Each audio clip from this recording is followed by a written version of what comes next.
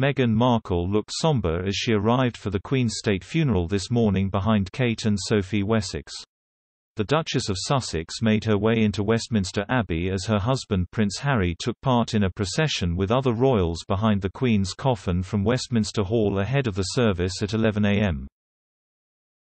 Meghan wore a black dress, stilettos and a large hat. Her hair was styled into a low bun and she completed her outfit with a pair of pearl earrings. She entered the abbey behind the Princess of Wales, who was with her two eldest children Prince George and Princess Charlotte, and the Countess of Wessex, who was later spotted dabbing a tear from her eye. Meghan and Harry, who are living in California after quitting royal duties in 2020, were reunited for the service as they took their seats in the second row behind the King and Queen consort.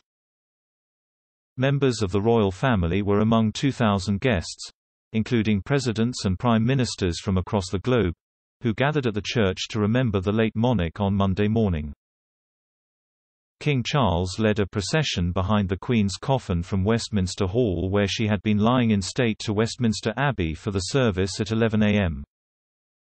The King was immediately behind with his siblings Princess Anne, Prince Andrew and Prince Edward. They were followed by the Prince of Wales, Duke of Sussex and Peter Phillips.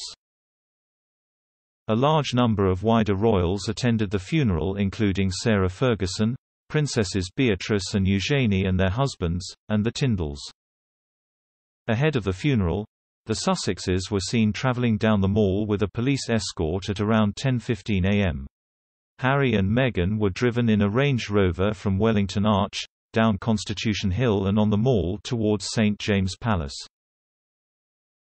Four vehicles with flags were seen driving ahead of Harry's car.